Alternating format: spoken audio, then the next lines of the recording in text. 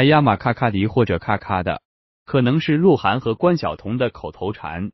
因为二零一七年十月八日，鹿晗发微博公开认爱关晓彤的时候，关晓彤说了一句话：“哎呀妈咔咔的。”二零一八年四月二十日，关晓彤为鹿晗庆生时也说了：“哎呀妈。”关晓彤连续五年为鹿晗庆生，鹿晗也连续五年为关晓彤庆生了，还是真 CP 好磕啊！双向奔赴的恋情，不用遮遮掩掩的，约会也不用躲避狗仔。既然鹿晗和关晓彤的感情这么好，为什么他们不结婚呢？那是因为关晓彤太小了，她一九九七年出生，今年才二十五岁。对于一个普通女孩来说，二十五岁结婚也有点早，更何况是明星。关晓彤是九十五花的佼佼者，一旦结婚了，生孩子就提上了议事日程。一旦生小孩了，前后至少要休息一年的时间，有可能是两年。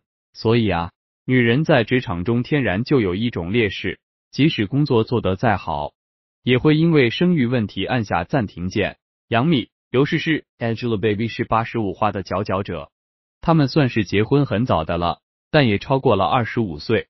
杨幂一九八六年出生，二零一四年一月结婚，二零一四年六月生孩子。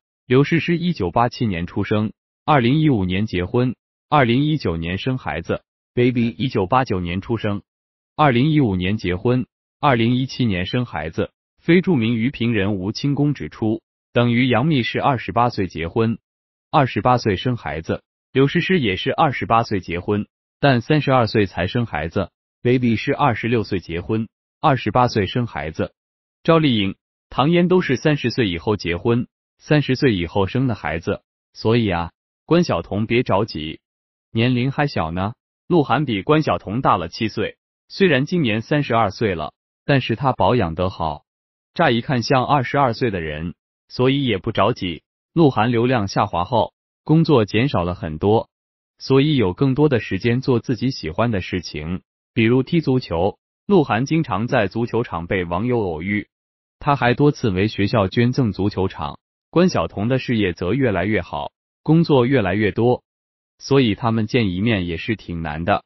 讨论，你觉得他们什么时候会结婚？